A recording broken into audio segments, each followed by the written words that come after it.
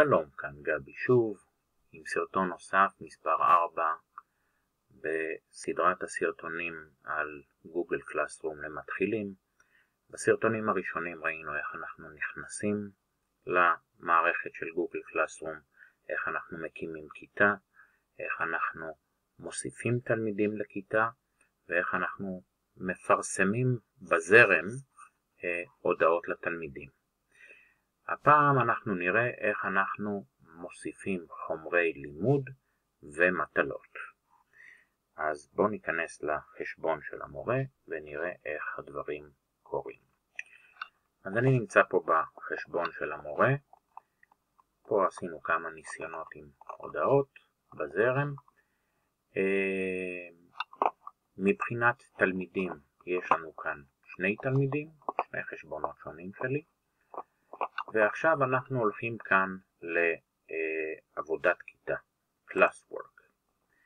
בתוך עבודת כיתה אנחנו מארגנים את כל החומרים שאנחנו רוצים שיהיו לתלמידים. אז האופן uh, לערוך את כל התכנים בצורה מסודרת היא על ידי חלוקה לפי נושאים. אני יכול לקחת את uh, תוכנית הלימודים של המקצוע שבו אני מלמד ולבנות לכל פרק בתוכנית הלימודים נושא ובתוך הנושא לשים שם חומרי לימוד ומשימות וכולי. אה, או שאני יכול אה, לחלק את זה בצורה פונקציונלית אחרת לפי ראות עיניי. מה שאני אעשה, מאחר ואנחנו מדברים פה על קורס בתכנות, אז אה, אני אבנה דוגמה בהתאם. אז כדי להגדיר נושאים, יש לי כאן את הכפתור הכחול של יצירה, כשאני לוחץ עליו יש כאן מספר אפשרויות. אז יש לי פה מטלה, assignment, quiz, בוחן, שאלה, material, חומרי עזר, אה, זה להשתמש בפוסט ולהפוך אותו למטלה, ו topic, topic נושא. אז אנחנו רוצים אה,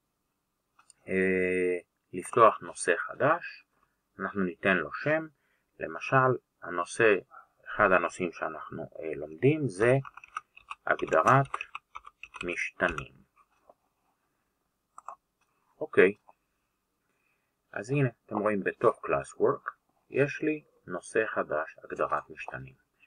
בואו נפתח פה נושא נוסף אז נגדיר. אה, נושא נוסף, אה, הדפסות למסך. אז הנה קיבלנו נושא שני. ועכשיו לכל נושא אני יכול להוסיף חומרי לימוד.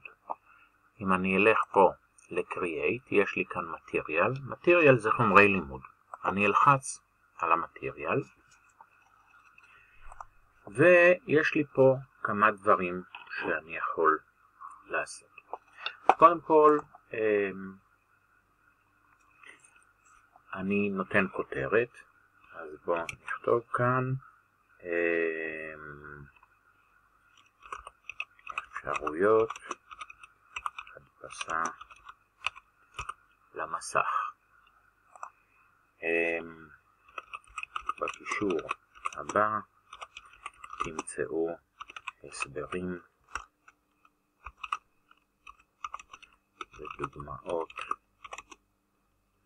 על אפשרויות הדפסה למסך מתוכנית של בקר ארדואינו. ואז כמו שהיה לנו בפוסט, יש לי כאן add עם אותם ארבעה כישורים, ויש לי פה גם create, שזה מאפשר לי לייצר מסמך בכלי גוגל מסמך חדש. מאחר ומדובר בחומר מוכן, אז אני אבחר להוסיף כאן לינק. גם כתבתי בקישור הבא. אני אלחץ על לינק, ואז הוא יבקש ממני את הקישור. אני אלך להביא את הקישור, קופי, ואני אדביק את הקישור פה, ואני אגיד לו add link. והנה הקישור נוסף. אני יכול להוסיף פה כמה חומרים נוספים אה, מעבר לכך. אני יכול גם לצרף איזשהו קובץ, למשל קובץ של מצגת שהכנתי מראש. בואו נלך לפה, איפה שמתי אותו? Downloads, פעולות מתמטיות, ואני אומר לו Upload. אז הוא עכשיו ייקח לו כמה דקות, עד שהוא, כמה רגעים עד שהוא יעלה את הקובץ. והנה, יש לנו פה גם מצגת וגם קישור לאתר עם הסברים. אז זה החלק של בניית התוכן. מה יש לי פה בצד ימין? בצד ימין יש לי לאיזה כיתה אני מפיץ את זה, האם אני מפיץ את זה לכל התלמידים או רק לחלקם. כן, אם אני אוריד פה את ה-V, אני יכול למשל להחליט שאני מפיץ את זה רק לתלמיד הזה, או רק לתלמיד הזה, או לאיזה קבוצה של תלמידים אם יהיה לי יותר, אם אני מסמן את שניהם זה באופן אוטומטי כל התלמידים. והדבר הכי חשוב למען הסדר הטוב, נושא. אני צריך להגיד שהחומר הזה שהכנתי שייך לנושא הדפסות למסך.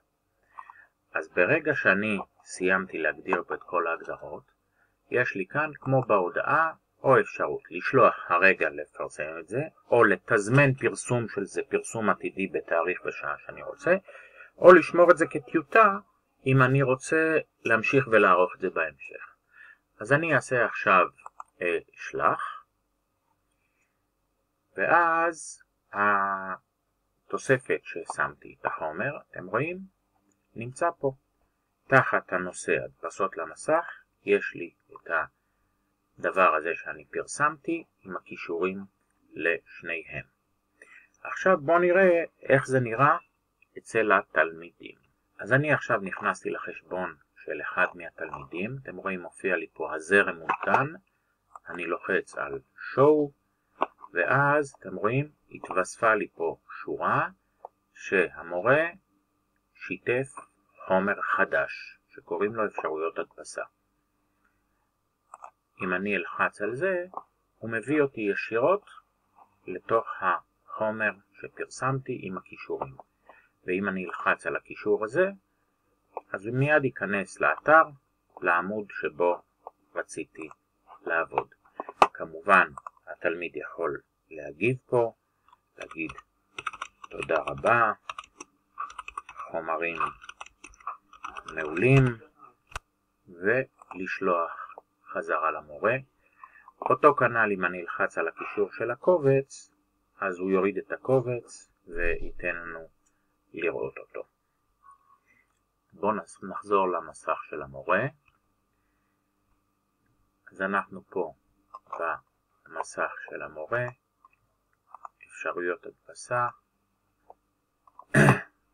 יש לי פה view material, ואתם רואים עכשיו התעדכן לי פה, יש גם תגובה אחת. אם אני אלחץ עליה, הנה יש לי פה את התגובה. אז ככה אנחנו מוסיפים חומרי לימוד. בסרטון הבא אנחנו נראה איך אנחנו מוסיפים מטלה. אז בעצם מה שראינו, אנחנו פה בתוך ClassWork הולכים לכפתור Create, יצירה, בוחרים מתוך התפריט. בהתחלה אנחנו עושים את הנושאים שלפיהם אנחנו רוצים לקבץ את המידע שאנחנו נותנים לתלמידים, אם זה חומרי לימוד או מטלות, ואחרי שיש לנו נושאים, אנחנו יכולים לעשות את אחת מארבע האפשרויות האלה, מטלה, בוחן, שאלה או חומר עזר, לשייך אותו לתוך הנושא. ואז בכל נושא יהיה לנו אה, את החומר שהתלמידים יוכלו אה, לגשת אליו ולעבוד איתו. אז להתראות בסרטון הבא שבו אנחנו נראה איך אנחנו עושים מטלה ואיך אנחנו עוקבים אחרי ההגשה שלה והציונים.